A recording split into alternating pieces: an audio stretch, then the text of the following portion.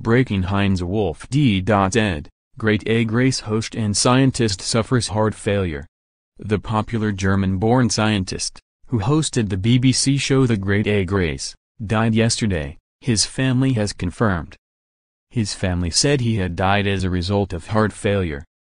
Mr. Wolff was an inventor, professor, TV host and European Space Agency advisor during his long career in science.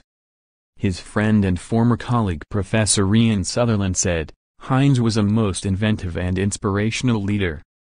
There was nothing he loved more than having a team of people around him devising completely new ways of doing things.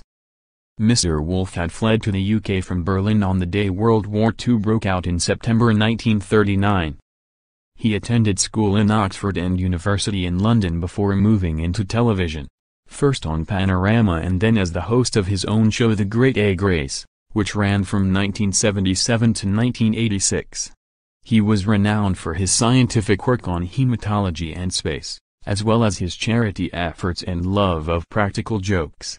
He is survived by two children and four grandchildren.